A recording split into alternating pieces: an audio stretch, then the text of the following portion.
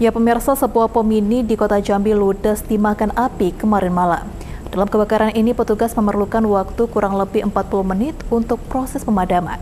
Kebakaran diduga akibat adanya indikasi anak pemilik pom mini yang bermain petasan hingga menyebabkan percikan api.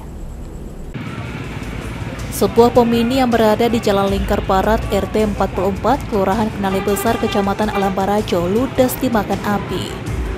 Peristiwa tersebut terjadi pada Minggu 2 April 2023 sekira pukul 20.00 waktu Indonesia Barat. Mendapati laporan tersebut, tim Damkar Kota Jambi pun bergegas menuju lokasi kejadian yang hanya memakan waktu 6 menit. Kepala Dinas Damkar Kota Jambi Mustari Avandi mengatakan, dalam pemadaman kali ini, Damkar berkoordinasi dengan PLN untuk melakukan pemadaman listrik sebagai penanganan pertama Pihaknya juga mengerahkan sebanyak empat armada dengan membawa 30 personil. Pemadaman pun membutuhkan waktu kurang lebih selama 40 menit dengan menggunakan 1.500 liter air.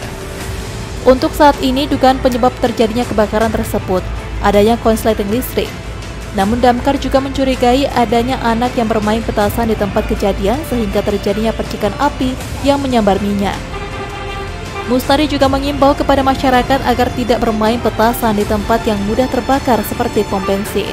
Kebakaran ini dari minyak ini, pom bensin ini yang yang meledak tapi penyebabnya belum diketahui. Tapi kita responnya kurang lebih dari 10 menit sampai di kejadian kebakaran dan memang lampu padam dan kita membutuhkan kita ada empat armada karena kita masih karena ini minyak alhamdulillah dapat uh, teratasi satu dengan kejadian. Namun ada hal yang perlu kita sampaikan bahwasanya di lokasi kita kejadian kebakaran ini ada yang petasan atau kembang api.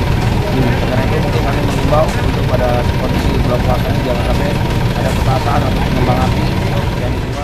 Fazil Cek TV melaporkan.